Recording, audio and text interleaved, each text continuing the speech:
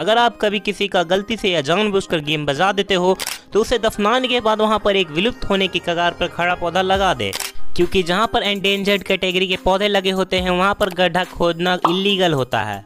ऐसे ही useful facts के लिए हमारे चैनल को सब्सक्राइब कर दें।